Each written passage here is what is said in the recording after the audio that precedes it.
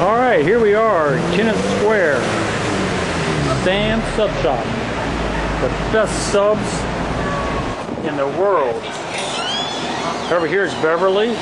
Hi. Beverly's going to. Is this your first Sam Sub? Yes. Okay, this will be her first Sam Sub. Well, she was, yeah, she had a square face on her, but she was peach. There's Denise. We've already had a cheesesteak. Did he tell you, we talked all about Yeah. Mrs. Huffman and Mr. Kane and uh, who else we talked about? Uh, Lou Reynolds.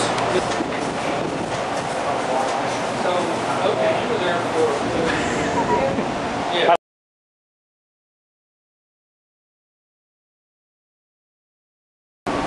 Okay, now we're going to Use red capicola.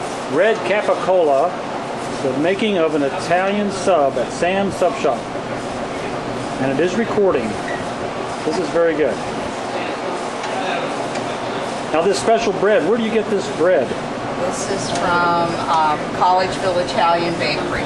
Ah. Now is it made just for you or is it a, a commercial product? that- Uh, it used it used to be just for us. Now they went a little bit more commercial. okay. Not not to the point that it's in every grocery. It's not it's not sold in groceries or anything like that. Right, before you couldn't get Right. it anywhere but here. Right. And it's almost like that now. Still. Okay, now we got the lettuce, The lettuce, the Tomatoes. tomato, onions. Oh, what's that? This is uh, the Italian seasoning. Okay, A little salt. Okay. A little bit of our our own blend of oil. A little Propri- secret. The proprietary secret Right. oil. And Garden and the Coke syrup. Oh, a little bit of hot peppers. hot peppers, yes. These are cherry Cherry. peppers. Okay. What's this?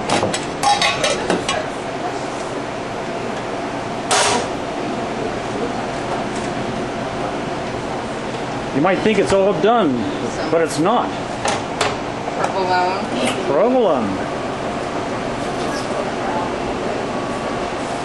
And so you can also note that all our subs are handmade with all the ingredients sliced to order, not pre-sliced. Right. This is a custom-made uh, Italian sub. What you're seeing over there is, in this, this area here is, is famous for the Underground Railroad. And, uh, that And roll is last but not least, Genoa salami. Genoa salami. Sliced thin. Notice that the meat's layered. It started off with meat, then it got the veggies, and now more cheese and meat. And now we Ah, fold it up, get it all tucked. that's the hard part too, because that's where they can fall apart. So it doesn't fall apart. Wrap it quite nicely. And there's the finished product. Look at that. That is the way an Italian sub is supposed to look. Excellent. Okay. Thank you.